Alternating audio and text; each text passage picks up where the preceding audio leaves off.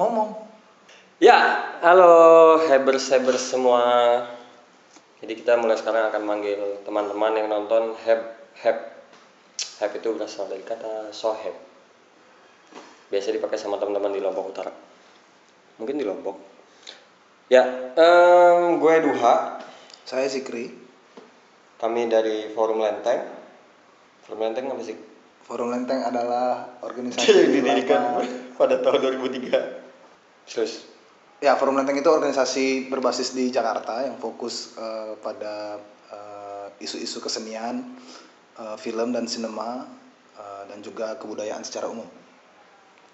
Pendirinya itu kumpulan dari seniman, mahasiswa, eh, dan pegiat kultural lainnya.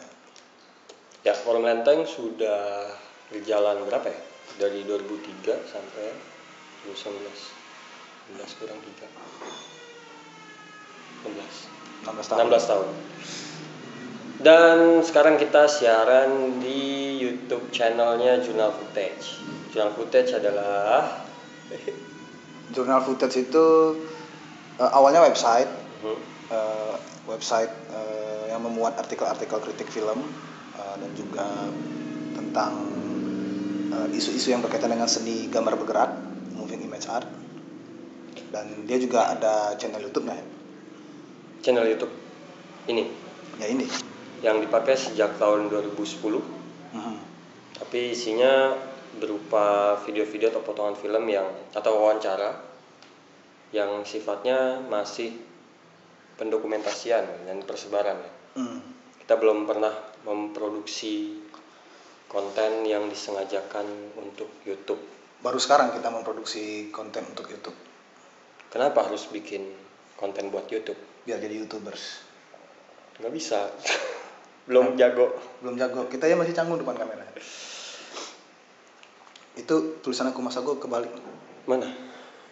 Oh iya. Nanti kita juga akan bahas soal tulisan ini, apa program aku masa itu. Cuma sebelumnya kita juga eh, harus bahas kenapa sebenarnya anak-anak forum lenteng atau forum lenteng itu sendiri bahkan kemudian berusaha untuk bikin konten yang khusus buat YouTube. Ini rubrik kita namanya apa? Oh iya, nama rubrik kita adalah YouTube on YouTube by Zikri dan Duha. iya. Alay anjir. Kenapa YouTube on YouTube?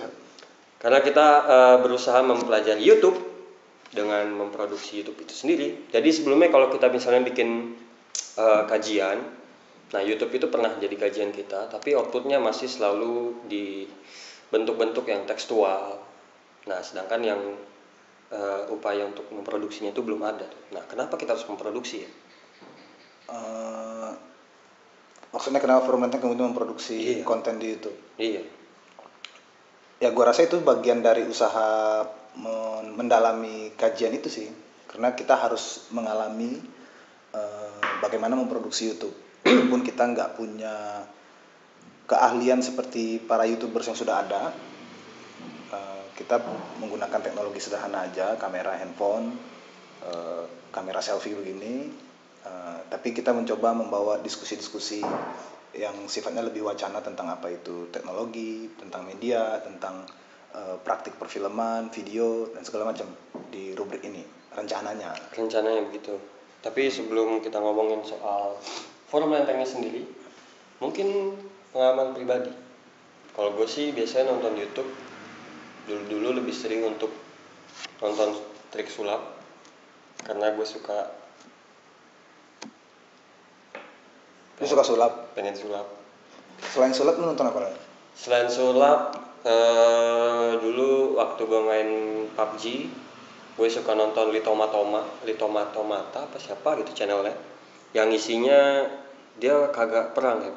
Jadi main PUBG itu dia sebagai apa tuh gue lupa, yang pakai topi itu, koboi koboyan gitu. Jadi dia cuma pakai sempak doang. Terus dia cuma jalan-jalan ngobrol sama orang. Jadi dia nggak megang senjata. Nah selain itu setelah gue masuk Forland gue lebih sering nonton yang terkait sama film sih entah estetikanya film-film terbaik atau cara sutradara mengkomposisi gambarnya gitu gitulah kalau lu Kalau gue biasanya nonton konten yang musik sih. musik tutorial main gitar Hmm. sejak gue SMA Ya SMA. sejak SMA tahun 2000 berapa ya itu tahun 2009 2008 2009 2008 2009. ya gue kelas 2 kelas 3 SMA lah Ada yang masih lu ikutin nggak sampai sekarang? Tontonan waktu itu. enggak sih kalau kalau dulu gue biasanya ada dulu eh, Andy Mackey Di situ, situ. Andy Mackey yang yang apa fi- finger stylist itu yang dia apa main gitarnya eh, seperti suara tiga gitar tapi cuma satu gitar terus bisa pakai gendang-gendang segala gitar dipukul-pukul tapi sekarang kan udah banyak ya youtubers yang apa apa main musik yang finger stylist menjadi youtubers contohnya kayak di Korea tuh siapa namanya yang terkenal banget Yang berdua tuh ya? bukan, bukan. itu di Pak Pepe Bukan, yang berdua tuh yang cewek-cewek itu loh. ah nggak tahu Yang lu suka tonton. Yang adik kakak apa? Satunya bass. Ah nggak tahu gua Dih. lupa itu mah gua ngasal nonton aja Oh gitu. Tapi kalau dulu ada tuh yang yang dari dari Asia juga di Pak Pepe, tapi kan dia bukan finger stylist. Nah, ada yang dari Korea yang yang yang sendiri. Gua nonton itu dari dia kecil sampai dia sekarang udah gede. Umur 20-an, 19 atau 20-an. Kalau yang dari sini ada? Sung Hajung apa ya? Gua nggak tahu. Sung Hajung. Sung Hajung. Sung Hajung. Ya. Sung Hajong. Kalau yang nggak salah ya, Iya, yang dari sini ada?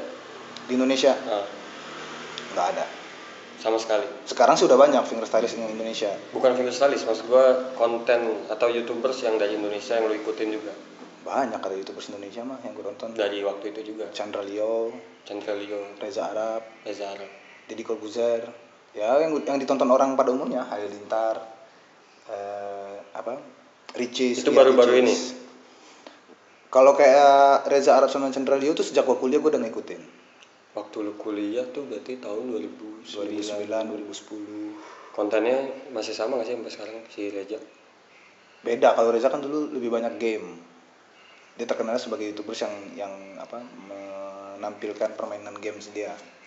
Kalau Chandra Leo dulu awal-awal dia membicarakan tentang kehidupan sehari-hari sebagai mahasiswa. Eh, nah kalau sekarang sih udah berubah udah lebih profesional lah penggarapannya Tapi si Reza sampai sekarang masih game ya? Yang masih tapi kan dia juga membuat beberapa konten YouTube yang lain. Tutorial how to cook nasi goreng. Gue Ya, terakhir lihat di YB akun channel barunya. Itu juga apa skinny skinny apa? Skinny Indonesia 24 ya itu Anak juga. FH ya? anak FH anak UI itu. Kita juga anak UI ya? Kenapa kita nggak bikin dari dulu ya? Nggak kepikiran. Sekarang kita mau ngomongin dua topik yang pertama itu on YouTube. Yang kedua itu situasi bermedia sekarang. On YouTube. On YouTube ini maksudnya apa nih? On YouTube. Tentang YouTube. Tentang YouTube apa pun berkaitan dengan itu mau bahas konteksnya boleh mau bahas isinya boleh bikin sambil menurut menurut lo apa on YouTube? Ya sebenarnya ini agenda dari rubrik ini sih. Kalau misalnya kita kaitkan dengan agenda forum lempeng yang kita sebut tadi, eh, bahwa YouTube menjadi bahan kajian kita dan dan mengkajinya sekarang menggunakan video eh, sifatnya diskusi seperti ini dan diupload ke YouTube.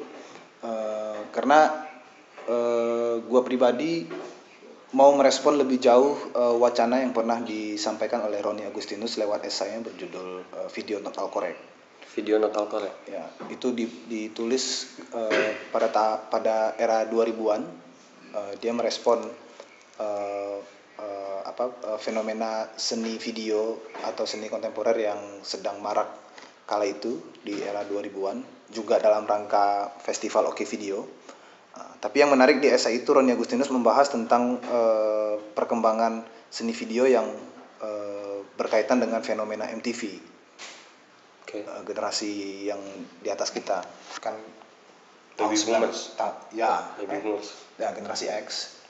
Eh, tahun 90-an tahun 2000-an kan MTV menjadi apa eh, salah satu eh, produk populer yang menjadi konsumsi publik terutama anak muda. Eh, dan di esai itu Roni Agustinus menyebut bahwa eh, MTV adalah eh, salah satu referensi eh, para seniman video yang kemudian menginspirasi mereka untuk melakukan eksperimen di eh, estetika gambar bergerak menggunakan teknologi video. ah sebelum lebih jauh soal video Natal Korea kan sebelumnya entah setelahnya ada uh, eseng juga judulnya video Al Correct Nah itu mungkin lu Kalau gua tidak salah ingat itu itu sebelum video not correct. sebelum video Di not video not correct itu adalah eh, esai yang dimuat di post event, di Post katalog event. post eventnya. Kalau video correct itu yang di- dimuat pada waktu eh, festival berjalan. ini oke, oke video yang pertama atau Bukan, yang- itu oke video tahun 2000 eh, 2003 yang pertama berarti. all correct not all correct nah ini kan ada ada kayak optimistik atau skeptisisme gitu yang terkandung di mungkin di dua tulisan ini. Ya, bayangannya apa sih dari dua tulisan ini? Ya dua dua esai itu sebenarnya eh, kayak semacam pertarungan wacana yang di eh, apa dibangun oleh Oke Video sendiri si festivalnya.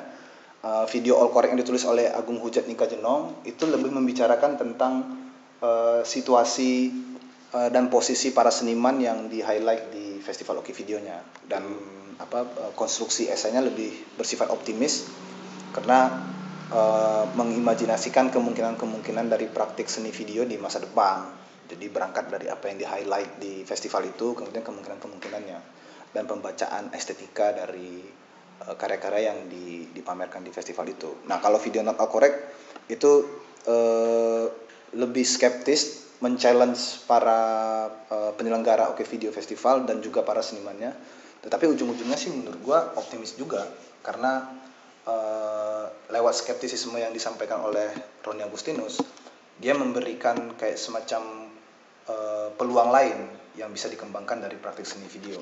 Karena kalau misal kita baca di esai itu kan Roni juga menyebutkan bahwa sebenarnya praktik seni video di Indonesia itu tidak terinspirasi dari eh sebenarnya tidak punya apa Kaitan eh, langsung. kaitan langsung dengan eh, Nam Jun karyanya Nam Paik yang disebut bapak seni video dunia gitu. Eh, praktik di kita itu lebih kayak respon anak-anak muda dalam mengoprek-oprek software eh, Windows yang masuk ke Indonesia. Kemudian dia eh, anak-anak muda ini mencoba mengulik atau bereksperimen dengan software seperti Photoshop, Adobe Premiere. Itu Premiere ya. ya. Oh berarti dimulainya bukan dari 60 70-an ya? Bukan. Tapi dia ber, eh, menawarkan bahwa dimulai sejak ada masuknya software-software ini. itu ya. Dan itu di- juga MTV dapat diakses oleh anak-anak muda kemudian anak-anak muda itu bereksperimen dengan itu. Dan katanya juga eh, karya seni video yang kemudian menjadi marak kala itu adalah yang sifatnya single channel single channel bukan bukan Instalatif bukan kayak instalatif Paik. Kalau misalnya itu kan generasi muda waktu itu. Nah, gimana dengan situasinya sekarang di generasi millennials yang lekatnya lebih ke media sosial ketimbang eh, sumber tontonan tertentu? Ya tentu jelas berbeda ya karena nah ini sebenarnya eh, isu yang buat gue pribadi menarik karena kalau misalnya dulu Roni Agustinus berargumen tentang perkembangan praktik kebudayaan yang berkaitan dengan media itu bisa dibaca lewat fenomena MTV yang marak di era 90-an dan kemudian 2000-an sekarang kan 10 tahun kemudian situasinya udah benar-benar berubah terutama sejak media sosial menjadi apa eh, hal yang sangat sehari-hari ya begitu ya kan gue ngomong sama lu ke situ juga. Kan Eh. ada hype-hype yang menonton.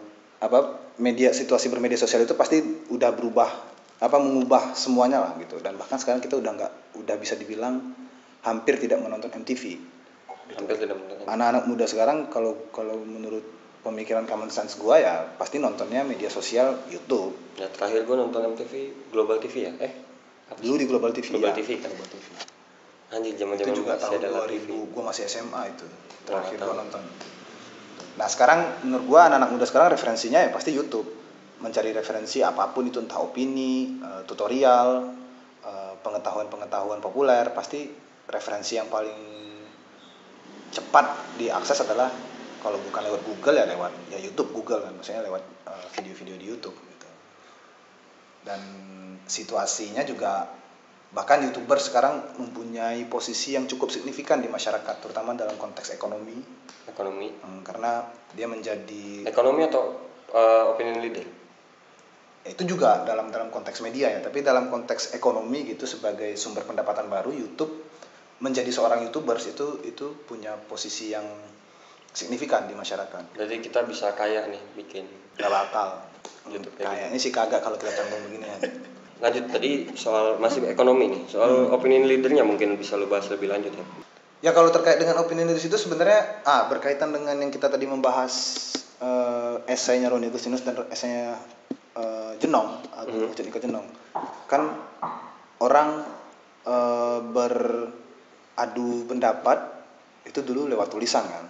Ya. Para kaum intelektual itu, para aktivis atau apa eh, akademisi gitu. balas di koran atau di, di blog gitu ya, ya di blog mediumnya tulisan gitu yang yang yang paling sering dipakai. Bahkan di ranah para jurnalis warga di bidang jurnalisme warga juga lewat tulisan gitu. Jurnalis warga itu adalah eh, pelaku eh, eh, warga yang me- me- melakukan tindakan mem- mem- memproduksi informasi tapi lewat tulisan umumnya. Nah video juga udah ada waktu itu eh, di era-era 2000-an tapi ketika YouTube menjadi eh, platform yang sangat populer sekarang orang orang justru memaksimalkan penggunaan video kan dan kalau kita perhatikan banyak sekarang anak-anak muda yang beradu opini beradu pendapat itu lewat YouTube.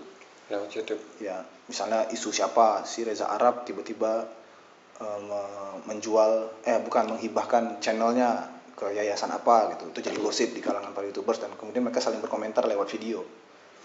Tapi itu cukup disayangkan karena menurut gua isunya masih eksklusif. Eksklusif dalam arti cuma Nah, di tataran kalangan para YouTuber saja. saja. nggak menjadi sesuatu yang cukup signifikan bagi masyarakat emang pentingnya Reza Arab buat kita apa gitu. Ya kan? Kalau misalnya Ngajarin isunya- gaming.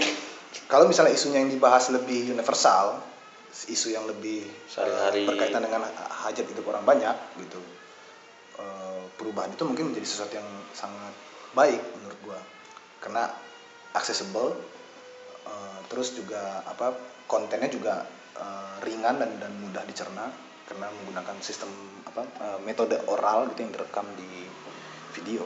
mungkin soal ini kita lanjutkan nanti di sesi kedua kali ya Hmm. soal situasi bermedia tapi kalau masih di on YouTube mungkin perlu juga dibahas kira-kira ada mobil lewat Ada mobil lewat, kita tunggu dulu tadi di belakang ini ada orang kerja, iya Ya.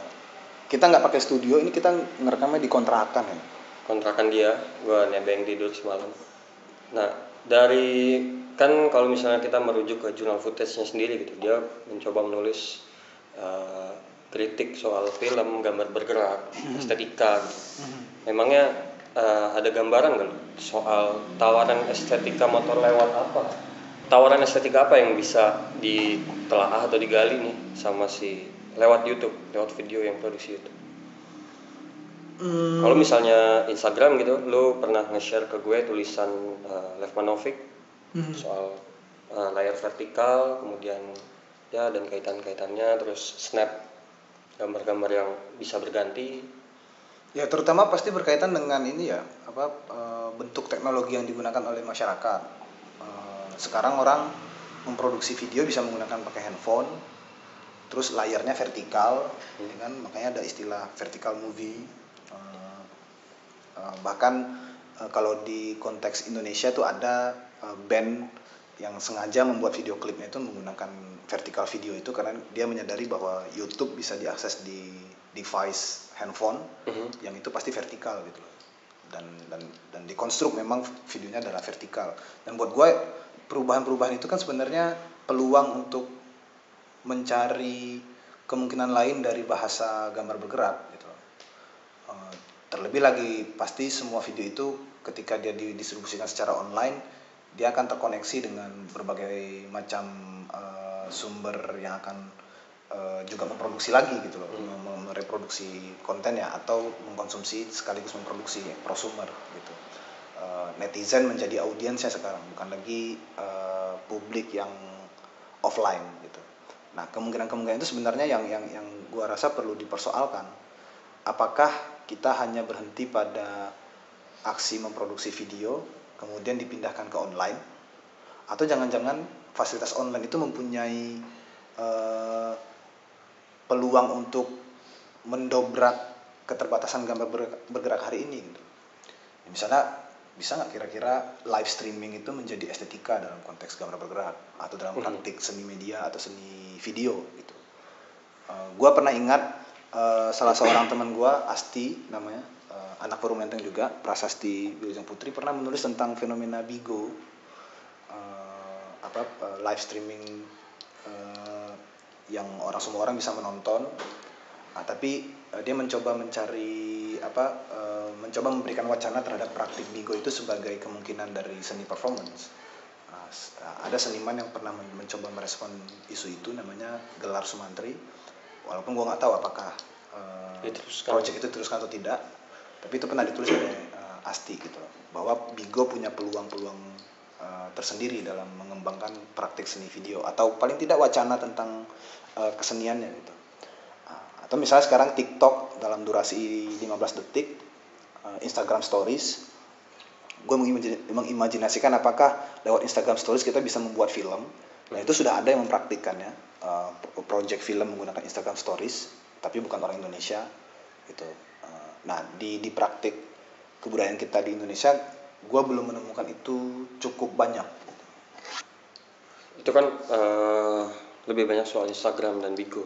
Ini YouTube-nya sendiri nih. itu bisa apakah- bisa sebenarnya YouTube sebagai platform atau lu lebih tertarik untuk ngebedah estetika di bagaimana konten atau karya itu diproduksi secara live. Nah, itulah nanti yang akan seterusnya akan kita ba- mencoba Oke, kita bahas simpan dulu di rubrik ini eh, lebih jauh per per isu per topik. Tapi kalau mau di highlight secara umum ya ya begitu bahwa YouTube sebagai platform yang bisa diakses oleh publik dia mempunyai kemungkinan-kemungkinan yang banyak sekali gitu Hmm. untuk di untuk diperdalam dan diperbincangkan gitu. Misalnya kayak estetika orang berdiskusi seperti ini dia menjadi apa eh, bentuk baru yang dikonsumsi oleh publik. Oke, mungkin kita soal ini kita sambil jalan ngomongin estetika video dan peluang-peluang dari YouTube. Kita balik lagi ke soal persoalan YouTubers tadi untuk masuk ke bahasan kedua soal situasi bermedia. Kalau misalnya ada eh, para YouTubers ini sebenarnya udah saling berkomentar soal sesuatu tapi masih eksklusif gitu. Berarti kan lu eh, mendekatinya secara kritis misalnya gitu. Mungkin gue perlu merujuk ke proyek yang pernah melakukan bersama aku masa ini tahun 2012 ya, rekam media. Lalu ceritakan tentang rekam media itu apa dan merespon apa. Kan waktu itu masih tekstual ya yang jadi sorotan. Eh, ya di di forum Lenteng itu ada sat- salah satu program kita, program pendidikan dan pemberdayaan media berbasis komunitas namanya Aku Masa. Itu diinisiasi oleh eh, forum Lenteng sejak tahun 2008. Tapi di tahun 2012 kita dalam rangka Aku Masa itu kita mengerjakan sebuah proyek penelitian yang kita sebut rekam media. Proyek penelitiannya itu melibatkan 10 warga dari wilayah yang berbeda-beda, 10 kota. Mereka warga biasa, tapi di- didorong untuk melakukan penelitian memantau media massa, media massa arus utama, tapi di tingkat lokal. Jadi memantau koran lokal. Koran lokal. Nah, jadi mereka setiap harinya mem- membaca koran, kemudian melakukan review terhadap isi korannya dengan indikator 5 isu, good governance, kriminalitas, perempuan dan anak, HAM, eh, lingkungan hidup. Ah, dan setiap minggu mereka memberikan resume bacaan. Nah itu penelitiannya selama satu tahun. Yang dikaji adalah koran lokal sama media online lokal. Online lokal. Ah, media online yang teks, yang tulisan. Gitu. Nah itu sebenarnya penelitian itu kita lakukan dalam rangka merespon situasi bermedia eh, di tahun-tahun segitu. Karena di tahun 2010-an eh, perbincangan kita di Aku Masa waktu itu adalah ngomongin tentang apa itu konglomerasi media, eh, kayak semacam oligarki baru yang yang ada di Indonesia bahwa banyak para pengusaha pemilik media itu eh, juga terlibat di wilayah politik, di wilayah eh, apa eh, usaha-usaha lainnya yang yang yang yang eksploitatif sifatnya, tapi mereka penguasa media Hmm. dan mereka mem- mem- mempunyai kekuatan untuk membentuk opini publik. Eh, yang mana opini publik itu dibentuk oleh para pelaku media arus utama ini untuk eh, kepentingan mereka sendiri gitu. Nah, warga biasa yang kemudian didorong dalam penelitian ini mencoba mengkritisi itu. Nah, itu sih sebenarnya kalau ngomongin rekan media. Nah, tadi kan eh, dari perspektifnya warga biasa gitu. Nah, mungkin lu kasih sedikit aku masaknya itu. Aku masak tuh apa gitu. Kenapa lu harus menekankan perspektif warga dan mengkritisi konglomerasi media itu yang mungkin dimulai pasca reformasi di situasinya. Ya karena selama ini kan kalau kalau kita membaca Kan? media massa gitu eh, media massa arus utama kan media massa itu nggak ada yang netral ya dia pasti membawa kepentingan dari pemiliknya kan, pemilik perusahaan medianya gitu. Dan dan kebanyakan eh, perspektif atau kebu- kebutuhan yang seharusnya di, i- dimiliki oleh warga itu banyak yang terabaikan. Misalnya kayak konteks koran lokal di berbagai daerah walaupun dia koran lokal misalnya di eh, Jember gitu tapi waktu kita melakukan penelitian di tahun 2012 itu banyak 50% rata-rata isi dari koran itu adalah merujuk kepada peristiwa yang ada di Jakarta. Hmm. Sementara isu-isu yang ada di wilayah lokalnya tidak tercover kan. Nah itu kan kenapa? Karena koran lokal yang ada di Jember itu ternyata punya afiliasi dengan perusahaan besar yang ada di Jakarta, perusahaan media yang besar di Jakarta. Nah, bagaimana kemudian perspektif atau kebutuhan warga itu dipenuhi kalau misalnya media massa arus utamanya masih Jakarta oriented. Nah, penelitian itu mencoba mengkritisi itu, mengkritisi sejauh apa isu HAM yang ada di Jember atau isu lingkungan yang di Jember tercover oleh media ini. Kalau tidak tercover, eh, apa yang harus diusulkan misalnya. Nah, di penelitian kita kita, kita menganalisa itu di penelitian itu. Setelah dianalisa berarti eh, tawaran yang ditawarkan sama para peneliti itu apa? ya me- semacam tuntutan kepada media massa arus utama untuk lebih fokus ke isu yang ada lokal di daerah mereka gitu atau e, mengajukan praktik jurnalisme warga sebagai alternatif dari produksi informasi Mhm. jadi e, imajinasi tentang bagaimana warga lebih aktif jurnalis-jurnalis warga itu lebih aktif memproduksi informasi yang berkaitan langsung dengan e, e, kehidupan mereka di wilayah lokal tempat mereka berada Oke, itu kalau masih di eh, ranah tekstual tahun 2012-an ya berarti. Nah, eh, balik lagi ke soal konglomerasi media sama eh, pembentukan opini publik gitu. Tapi di ranah video sekarang. Nah, eh, dikaitkan dengan YouTube dan apa yang kita lakukan di jurnal footage sekarang. Mungkin lu bisa mention misalnya solok milik warga gitu. Oh, vlog kampuang apakah eh, praktik semacam itu juga eh, seiring dengan semangat yang dilakukan sama rekam media dan aku masa waktu itu sebenarnya jurnalis warga yang memproduksi informasi menggunakan teknologi video itu udah ada sejak sejak teknologi video ada di kita eh, masuk ke masyarakat Indonesia gitu. Bahkan di tahun 2000-an tuh semakin marak. Tapi dia menjadi cukup eh, benar-benar menjadi perbincangan terutama sejak YouTube. Tahun 2006 udah bisa diakses Uh, dan orang mulai banyak memproduksi video dan menguploadnya ke YouTube menjadi lebih masif kan uh, persebaran informasi menggunakan video. Nah, terutama sejak 2010-an ketika YouTubers di Indonesia menjadi uh, tren dia menjadi ter- berlipat ganda lagi uh, ininya uh, fenomenanya uh, praktik-praktiknya gitu. Nah tapi ada satu hal yang yang yang buat gua uh, cukup memprihatinkan atau bukan cukup memprihatinkan, tapi cukup menarik untuk diperbincangkan. Gue ingat banget dulu ketika tahun 2007-2008 gue mengkonsumsi YouTube gue melihat bagaimana warga memproduksi video kemudian menguploadnya ke YouTube itu menggunakan eh, ya estetika warga aja teknologi seadanya gambarnya tidak tidak resolusi dengan resolusi yang seadanya tidak high res gitu. Nggak tapi kesemutan. tapi tapi dia membentuk suatu pola yang berbeda gitu. Dia video bahasa warga sifatnya kalau menurut gua. Tapi lama kelamaan kan para youtubers youtubers ini mungkin karena belajar learning by doing itu belajar dari proses. Mereka punya ada kayak semacam kebutuhan kebutuhan untuk memenuhi eh, standar-standar informasi yang yang seperti yang mereka konsumsi di televisi gitu. Jadi semakin ke sini gue lihat fenomena fenomenanya gitu para youtubers itu memproduksi informasi yang lagi-lagi kemudian mengejar estetika televisi. Eh, entah itu komedi, parodi, eh, tutorial, edukasi berusaha sebagus mungkin membuat produksi mem- apa memproduksi eh, konten videonya.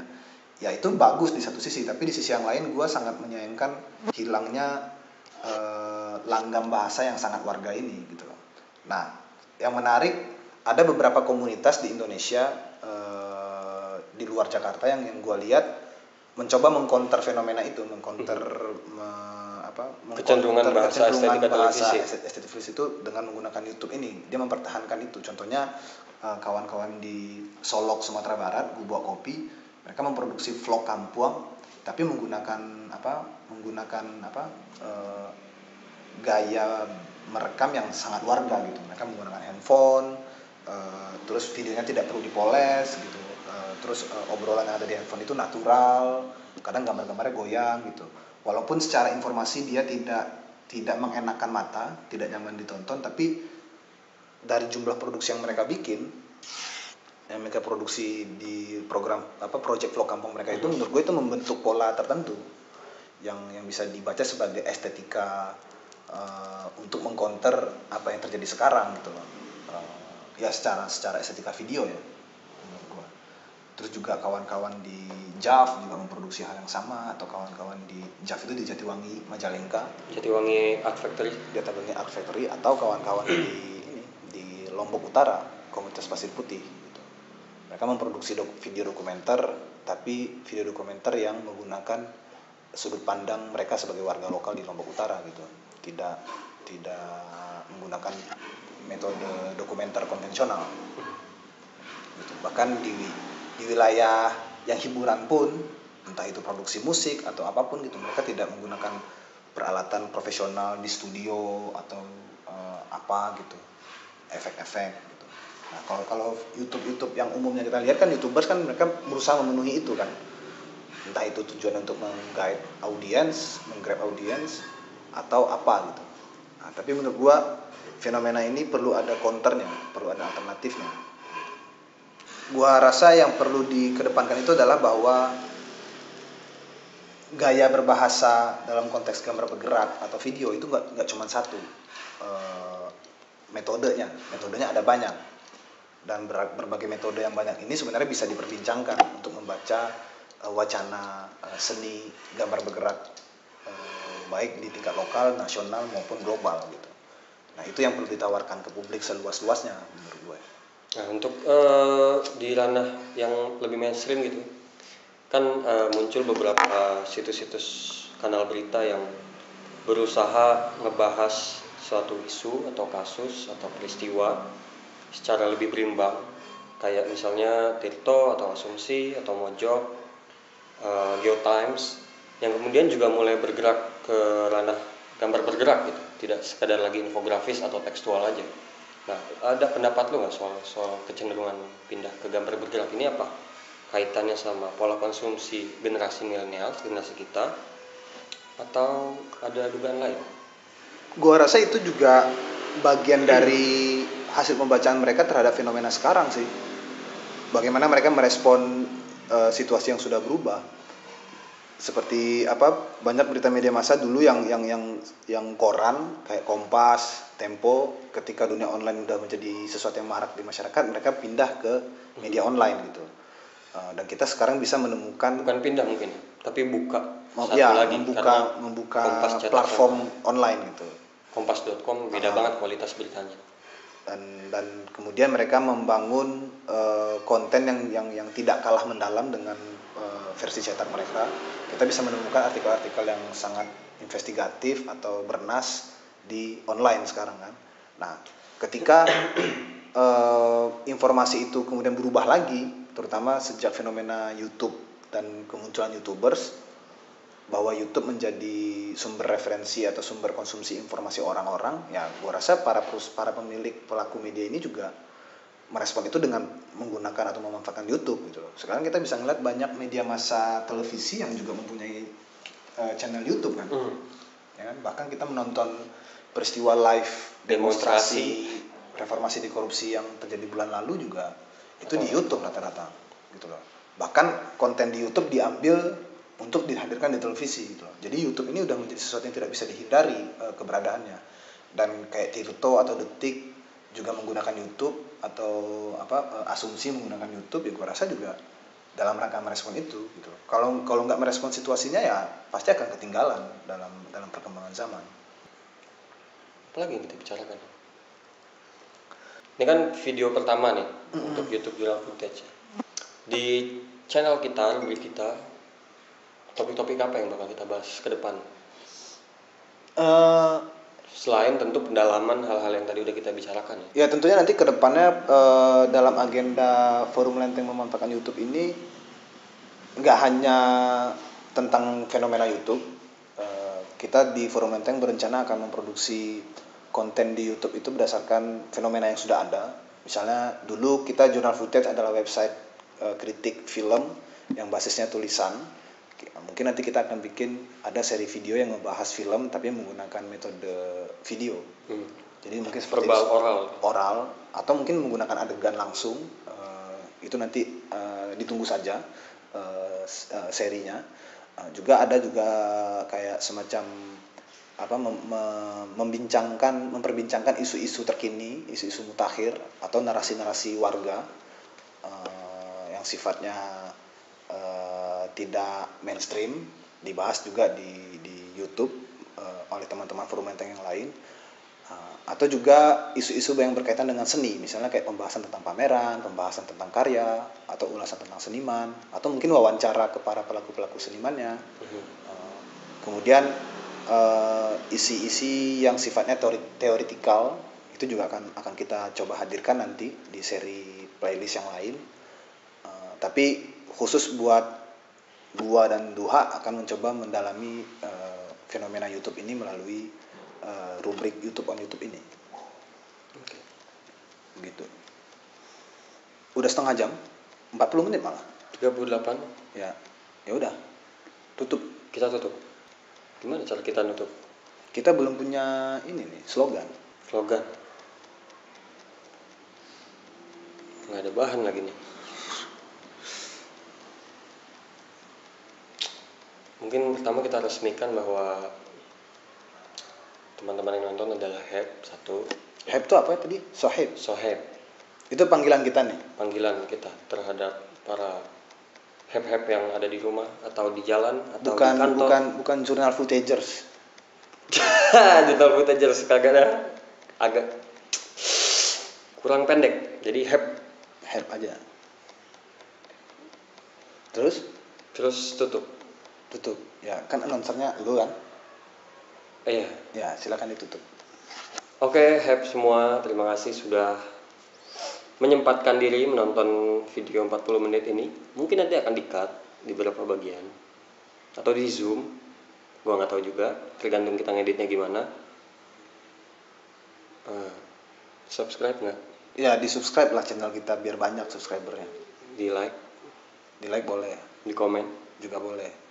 Tapi ntar komennya kayaknya bakal ngina-ngina kita sih. Kalau nggak ada komen, nggak apa-apa juga. Udah nggak apa-apa juga. Ya, diiringi oleh suara motor lewat. Terima kasih. Gue Duha Saya Zikri. dari Sampai bertemu dari mana dulu? dari Volmenteng. Itu makanya buka lagi ya. Buka. Oh gitu ya. Gue Duha, dia Zikri dari YouTube on YouTube channel di channel Juno Footage mengucapkan Sampai jumpa di video lainnya. see you later.